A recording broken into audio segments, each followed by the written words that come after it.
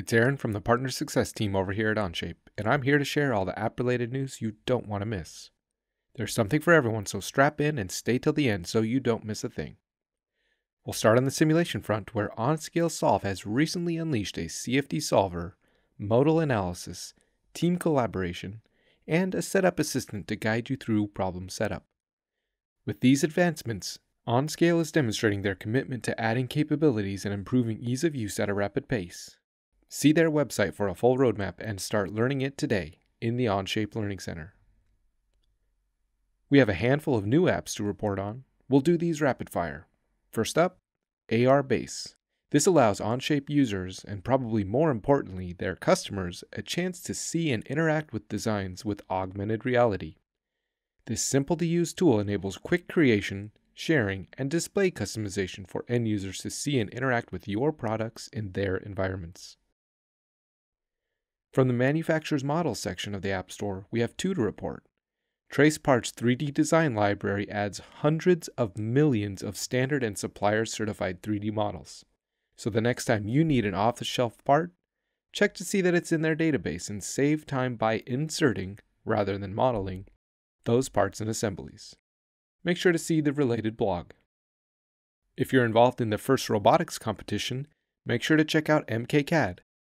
Similar to TraceParts, but at a much different scale, it'll add hundreds of parts related to the competition. And they've done so in a nifty extension which makes finding those wheels, sensors, and bearings that much easier. AirShaper, the longtime solution for Onshape users needing wind tunnel testing, recently announced their adjoint optimization technique. Using this method, you can morph shapes to optimize for goals such as minimizing drag, increasing lift, and more. OneIPM saw vast improvements since the last roundup. This project management solution improves the way you view your product structure and version history. But where it really excels is in task and project management for CAD and non CAD users alike. Since October, they've added quite a lot of capabilities, including project linking, revision and configuration support, customizable workflow states, task filtering, rich text editing, not to mention the continuous performance and UX improvements. If you watched the last update and faithfully stayed till the end, you might have seen a teaser for Phi. Phi will be bringing surfacing technology that is unlike anything you've experienced. It strays from the typical NURBS approach in favor of a mathematically superior curve driven design. This can push and pull designs to and from Onshape to allow easier downstream edits, and will make designs that previously seemed impossible simple to create. Join the beta while you can because the full release is approaching fast. While speaking about beta options, if CAM is what you need, note that there are options in store that are not readily advertised. Click the link on screen or in the description to see one of these in action. Finally, if you attended Onshape Live, you already know this. Next, rendering. You've told us you needed integrated rendering, and we listened.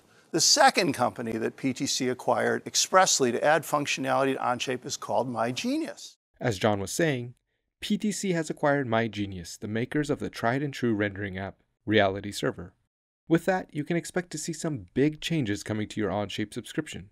But during the transition period, new subscriptions to RealityServer will be unavailable due to development work. Fire us an email to be informed of changes to its availability, but you should expect to hear more on this later. It's safe to say we've seen some fantastic new additions and improvements in the App Store.